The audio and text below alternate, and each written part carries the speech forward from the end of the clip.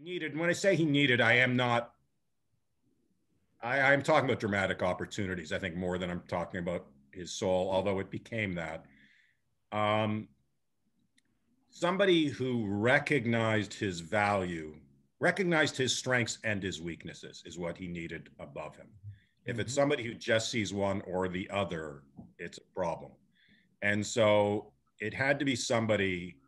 I knew House was crazy enough and out there enough that it had to be somebody who would take a chance on him, and that chance is blowing up in their face. And so, although they're the one telling him not to do this, not to do that, they're also the only reason that he's employed, which I found an interesting Okay, great. situation. Uh, and uh, okay, so that was the, so you found a friend, you you found a boss. Uh, I'll tell you a funny story about the friend, since it's been so much time has passed. I can tell in terms of the casting. So Robert Sean Leonard Mhm. comes in and auditions and does a very nice job. And we ultimately cast him, but he auditions. I don't know if you remember that. You you must. The process used to be you would literally bring the actors in to the network, Yes. and they sit in a little amphitheater and read their part. And then they'd leave the room, and then the president of the network would go, "Well, I don't know, you know, maybe this." And the president that's what happened and the president says well i think he should be a little kinder a little more soulful i can't remember what the note was exactly and and our director goes okay i'll go talk to him and i'm sitting there in the room going i think that was a terrible note i mean i, I think the best friend can't be like house but has to be somebody that inside them has an attraction to that kind of insanity yes. and needs that kind of insanity and values that kind. There, there's there's something fucked up inside Wilson in order for Wilson to be House's friend, and I'm thinking that, and and I'm thinking that, and I'm thinking, do I say something? Do I say something? Then I go, I gotta say something. So I get up, leave the room, walk. I remember walking down the hallway in the network, finding Robert with our director, and I go, Bryan, and and he immediately goes, oh, it's a terrible note.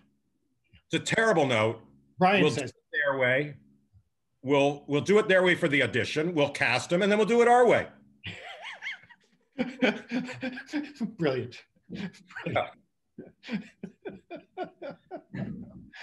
oh God! And so he did. He came back in, and he was incredibly empathetic and loving and caring. And they went great. And then you cast him and did what you wanted. Okay, Yes. brilliant. How often, just for the actors in the audience who are listening here, how often does an actor walk in and and uh, give you exactly what you want, uh, and you go great, versus an actor walked in and just is wrong, and then you go, but there's something there. What what is that? And then you dig in. What what? How does that work with you?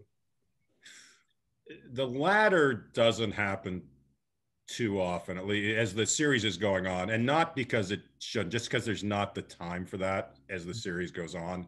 Mhm. That that does happen. It does happen sometimes. It happens regularly. Going, they're wrong about that, but boy, they're right about this. Boy, they found something really interesting there. You do want to get noticed in your audition. You, you want to, you know, you want to do make some choice where they go, "Ooh, that's interesting." Yeah. So Um, some choice that's not obvious. yeah, yeah. Um, having said that, if you're reading for the second orderly, do the obvious choice. You know, yes, sir. I'll get those done right away. Yes, uh, exactly. Yes, you sort of have to bring what's expected, uh, which is the, the frustration of many actors and many of my actor friends who do one guest shot after another, and their job is to deliver the water from here to there, and uh, and that's their job.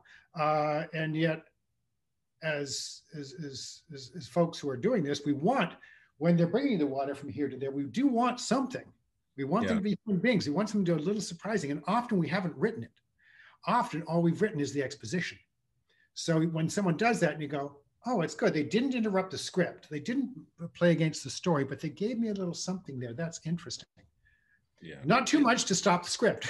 No, to stop the No, story. it's dangerous. It's a really tricky, dangerous thing. Yeah.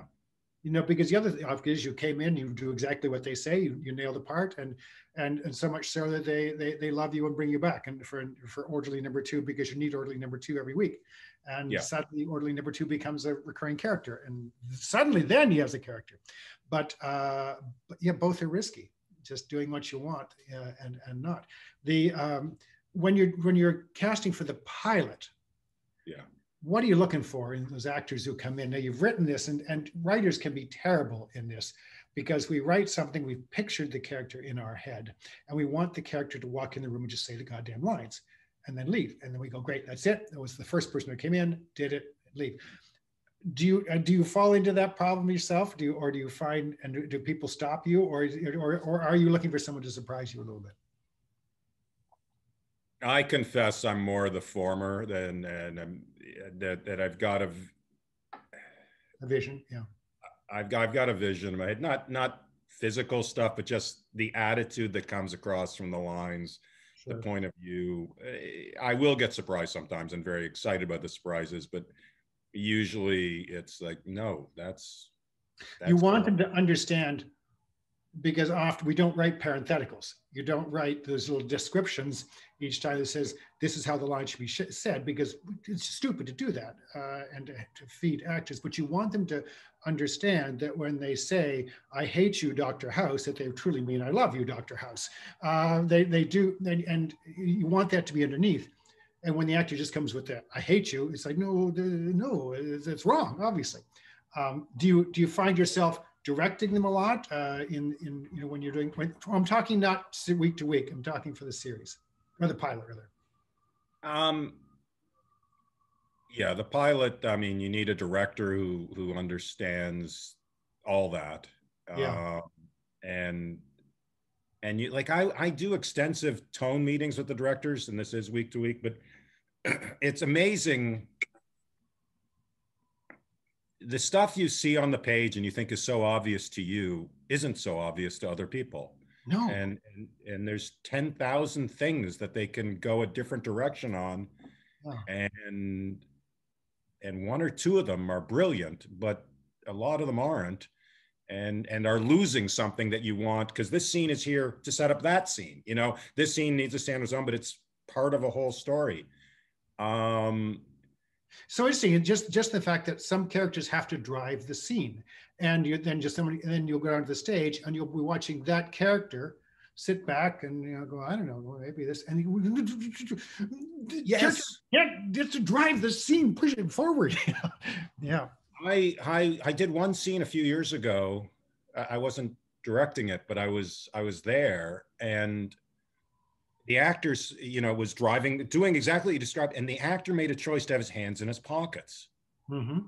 And I just asked the director director to have him take his hands out of his pockets, and everything changed.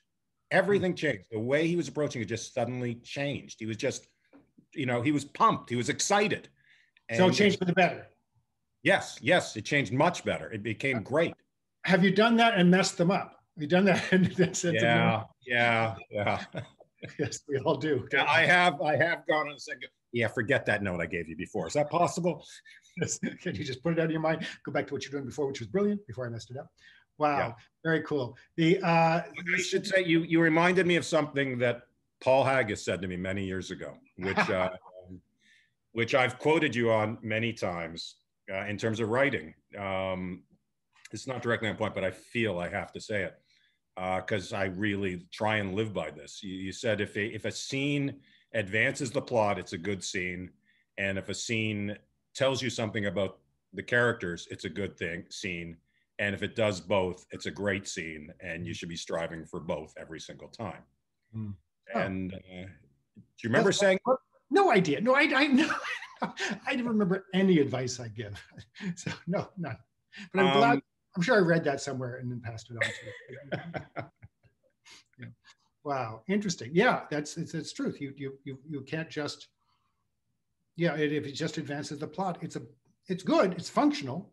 Uh, but if it advances character too, or it makes you think by doing that, isn't he going to sell his soul by by winning? And then suddenly, yeah, you've got to see. Yes. Yeah. yeah. yeah. Very cool. Uh, um, this, I will say this in terms of um, we had a tough time casting House. I feel I should add this if people are if people are yes. going to watch it. It's become very yeah. old. Um, actually, casting Doctor House, uh, we read a lot of people. We had offers out to people, and it was to the point where I watched. You watch audition after audition after audition. I reached a point where I was starting to doubt. Yeah. The quality of my own writing. I was starting to go, did I did I write something? You know, you try and write conflicting character traits within somebody. They're, they're, we're all a mass of contradictions, and you try and you try and write that, and you try and show that, and then and then I thought I had done the equivalent of writing the actor is tall and yet short. Mm-hmm. Um, I can type that, an actor can't deliver that. And I was starting to wonder whether I'd done the equivalent of that because an actor would come in and be very funny, but that would be it. And then an actor would come in and be, I, and they, get the, the, the pathos of it, but wouldn't be amusing. Right. Yeah. Or they were just wearing it, obviously. And then Hugh Laurie put himself on tape, and it was remarkable. Put himself on tape. Of course he did, because he's mostly a comedy guy at that point. Yes. You know, he yes. was known for brilliant piece. I mean, I loved uh, uh, the, the, the stuff he'd done early early on. Me too. Fry, and Laurie. I mean, it was just yes. brilliant. I just would I lived to watch that. But but a big step from that to House. Yeah, yeah, no, huge. I actually, when I heard he was putting himself on tape, I went, "Oh, I know that guy. I I'm a huge fan." But the Americans didn't know him. Yeah, um, most of them, and and he's a comedy guy. And I thought, "Ooh, maybe I'll get to meet him." But I never for a moment thought he could do it. really, really. Yeah, no, brilliant actor. Wow. And then he, yes, yes, brilliant it teaches you something about, about humility, which we go over and over again, which I had some a lesson I have to learn constantly. But also for actors is that you know sometimes you just doesn't matter how big you get, you got to pitch yourself, you got to put yourself out there, and he did. He went on tape, put himself on tape, and sent it. He didn't even ask to to you to fly over and meet him. Didn't didn't say I'll fly in if you pay me, and then I'll do a audition in person. It's the only way I'll do it. No, he put himself on tape, and obviously impressed the hell out of you. Yeah, yeah, it was it. You know, there's so many cautionary tales in TV, and you have little control over a lot of it. But it is so important. I'm talked about you and the director being on the same page, it's uh, particularly for a TV series. You and your star, you and your network. Boy, I've had this not happen, but you have to be.